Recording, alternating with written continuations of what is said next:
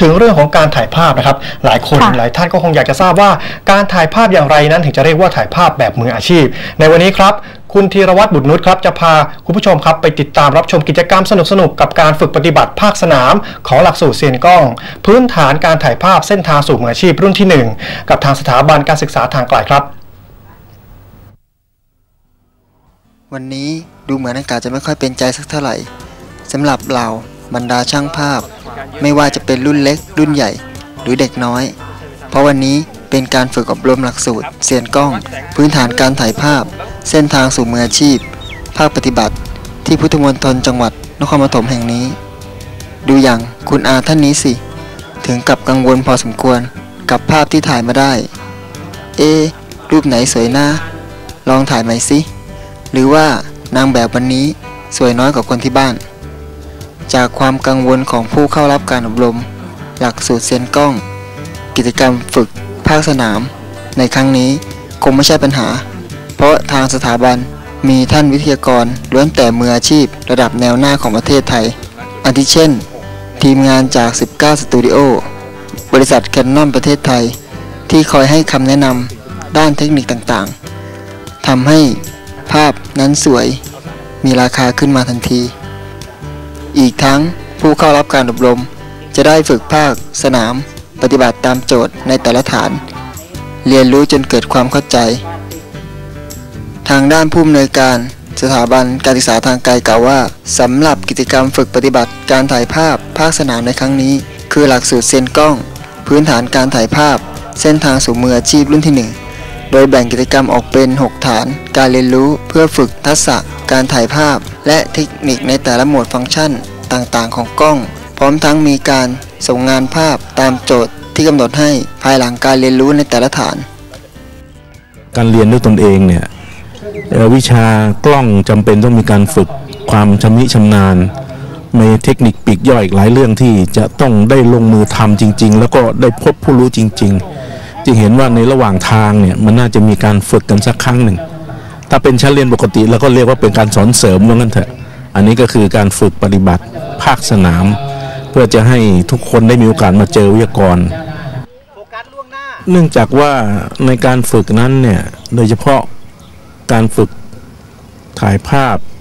ที่จะให้เกิดคุณภาพที่ดีจริง ๆ แล้วเราก็บอกว่าน่าจะเป็นลักษณะที่เราเรียกว่าเป็นกล้องผ่านเลนนะครับ ซึ่งซึ่งลักษณะอย่างนั้นก็ตัวกล้องก็อาจจะมีราคาแพงนิดหน่อย ซึ่งซึ่งโดยปกติทั่วไปก็จะมีบางส่วนที่จะเป็นกล้องปกติธรรมดาที่เขาเรียกว่าคอมแพคเลนนะครับคอมแพคแคม r a แต่ว่าอันนี้เนี่ยเเราก็มองว่า เอ๊ะถ้าถ้าศักยภาพของกล้องของแต่ละคนไม่เหมือนกันมันก็คงจะลำบาก ถ้าคนหนึ่งเป็นผ่านเลนถ้าเป็นคนหนึ่งเป็นกล้องธรรมดาเนี่ยมันมันเทคนิคละมันก็จะสอนกันยาก บริษัท Canon Marketing ประเทศไทยนะครับ ซึ่งซึ่งเป็นสปอนเซอร์ให้เราช่วยดูแลเรื่องของ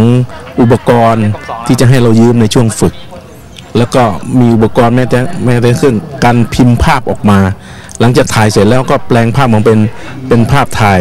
เพื่อจะเอามาเอามาโชว์ติดบอร์ดให้ดูกันได้ หรือไม่ใช่ไม่ใช่ดูแต่เฉพาะในในในจอภาพอย่างเดียวนะครับ อันนั้นก็คือส่วนที่แคนนอนให้ความสนับสนุน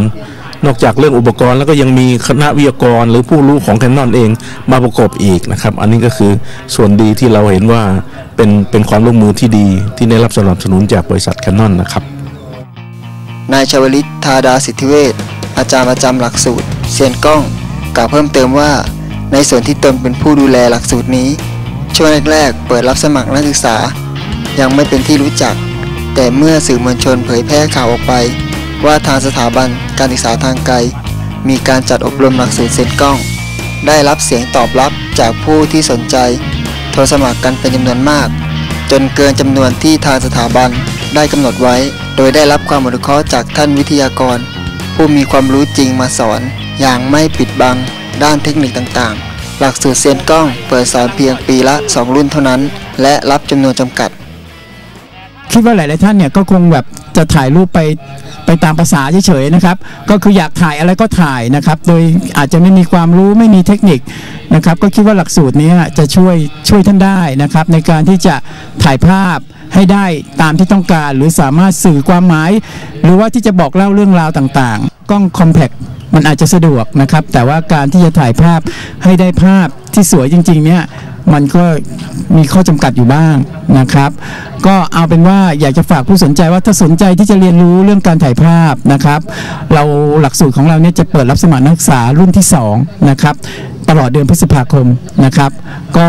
ผู้ที่สนใจเนี่ยก็สามารถเข้าไปที่เว็บไซต์ของสถาบันการศึกษาทางไกลนะครับ ก็ตามที่เดี๋ยวคงจะมี มีข้อความขึ้นข้างล่างนะครับ รวมทั้งเบอร์โทรศัพท์ต่างๆ ก็สามารถที่จะติดต่อสอบถามเข้าไปได้นะครับ ก็ขอเชิญชวนคนที่อยากจะฝึกฝนนะครับ เชิญชวนเลยในเดือนพฤษภาคมนะครับ ส่วนสีสันของการถ่ายภาพนอกสถานที่แบบนี้คงหนีไม่พ้นความสวยงามของการถ่ายภาพนางแบบในอริยบทต่างๆ และผู้เข้ารับการอบรมส่วนใหญ่ ต่างพูดเป็นเสียงเดียวกันว่า ได้รับประโยชน์เป็นอย่างมากในการอบรม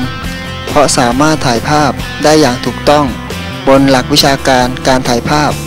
ซึ่งแตกต่างจากในอดีตที่ซื้อหนังสือมาศึกษาเอง และเข้าใจอะไรแบบผิดๆถูกๆ มาโดยตลอด ประโยชน์ที่ได้รับมีมากมายครับผมก็ตั้งแต่ได้รู้ได้เรียนรู้เกี่ยวกับการใช้ค่าของกล้อง การวัดแสงรูรับแสงต่างๆ ซึ่งสามารถนำเอาไปประยุกต์เพื่อถ่ายรูปให้ดูสวยขึ้นจากที่เมื่อก่อนถ่ายรูปนี่ไม่สวยเลยครับผม พยายามเรียนรู้ด้วยตัวเองด้วยครับ แล้วก็ถ้าเกิดว่ามีหลักสูตรที่น่าสนใจแล้วก็เรียนสูงขึ้นเนี่ยก็น่าสนมากๆเลยครับ